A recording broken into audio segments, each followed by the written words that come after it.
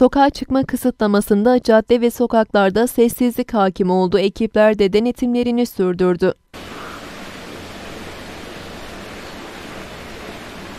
Kademeli normalleşmeyle ülke genelinde bu hafta son kez uygulanan sokağa çıkma kısıtlamasına Kütahya'da uyulduğu görüldü. Açıklanan son vaka haritasına göre 116,18'lik oranla 100 binde en çok vakanın görüldüğü il olan Kütahya'da denetimler de devam etti. Polis ekipleri hem araç sürücülerine hem de yayalara izin belgesi ve kimlik kontrolü uygulaması yaptı.